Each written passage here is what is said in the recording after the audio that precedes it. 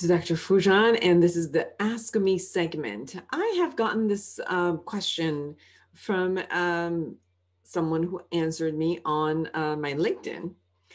And uh, the question is, how do I handle my emotional numbness? It's really uncomfortable.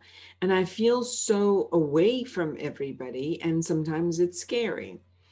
I'm sure it is. It is um, awkward when we feel that numbness. Sometimes the numbness shows up because it's a reaction to something, like a reaction to a medication that you're experiencing. But overall, when we're just looking at the emotional numbness, it could be a signs of anxiety, depression, or post-traumatic stress.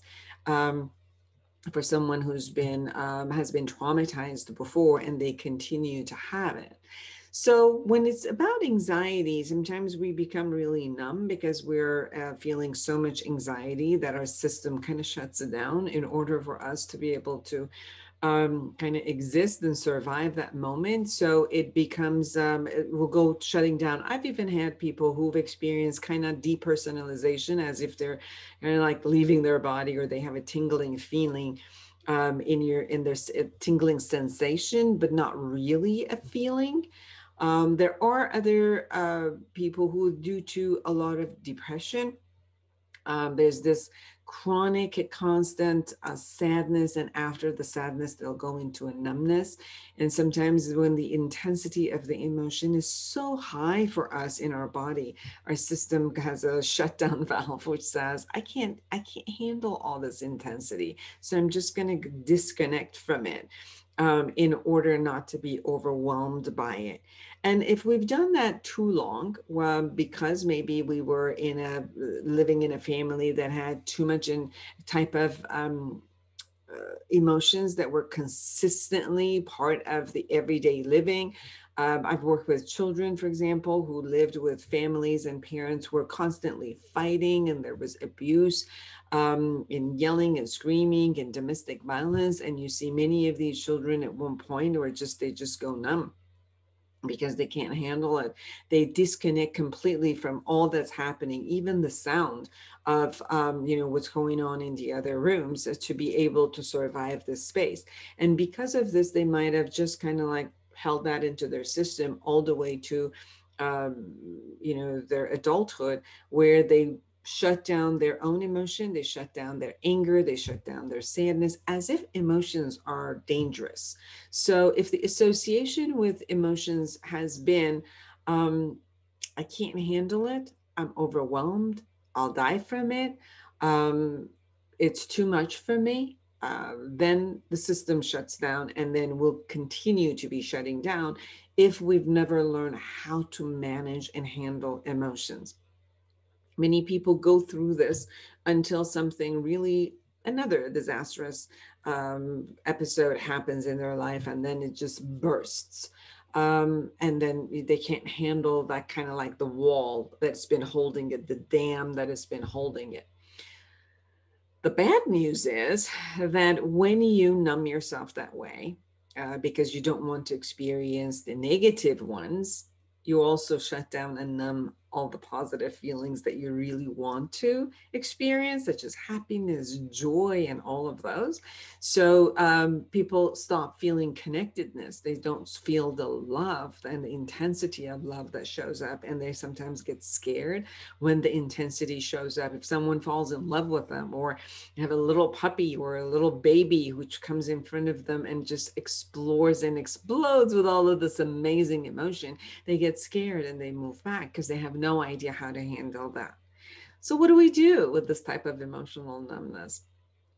If you've been traumatized before and you experience this type of emotional numbness due to trauma, I really request from you to seek psychotherapy and learn step by step in how to contain, name, and contain the emotion, plus to heal the past and, and be able to, um, you know, release yourself from the hold of the trauma that's been there and all the meanings that you've given and uh, you've had to suffer through.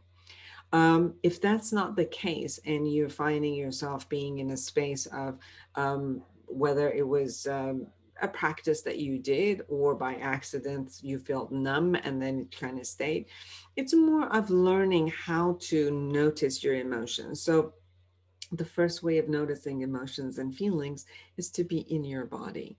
Many people have kind of depersonalized and dissociated from their body again because of the intense emotion.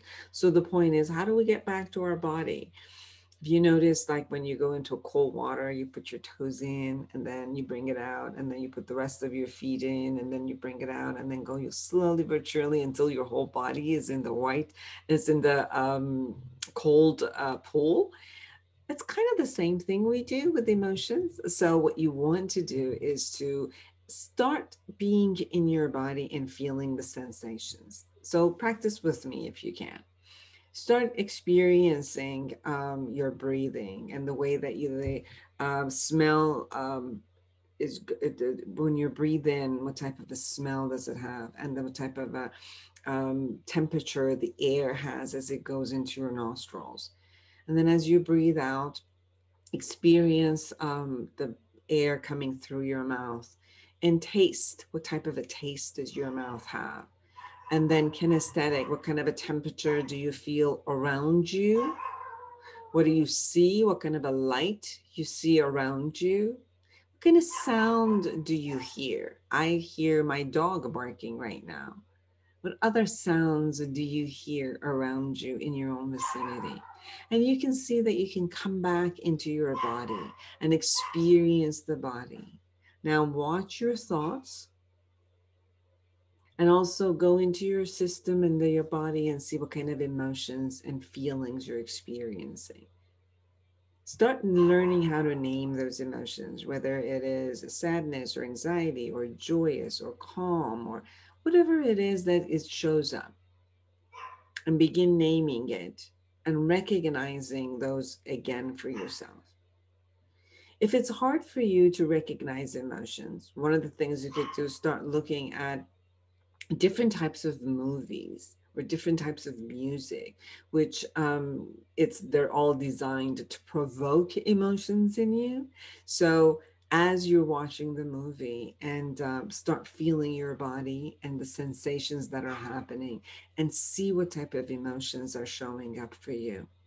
Because the more you practice with the day to day experiences of small intensities of emotions, then you can get used to sitting with your emotion and delving into more intense ones. If you need support and you are afraid of experiencing your emotion because you think if i'm right on the edge of the well of the sadness or depression or rage and if i ever go in there there's no way that i can come out and it's going to be destructive seek help get a therapist so that you could work with your emotion and slowly but surely learning how to stay in your body, feel the emotion, name the emotion, and then release the emotion if it's unwanted and feel it and contain it and experience it if it's something that's pleasurable that you want to keep it. Every emotion has um, some sort of a, um, message for you. So you also want to know what the thought process is beside the emotion for you and what it is that is sharing with you. And if you need to do anything about it or just remember it and enjoy it. Other people that I've noticed that are becoming a little bit depersonalized and lack of emotions also are people who are using drugs. Sometimes a drug invokes um, type of a depersonalization. So if that's also what you're doing, my suggestion is try um, you know to to get off of it and see what experiences your body will have again experiencing your true emotions and feelings. I hope that was helpful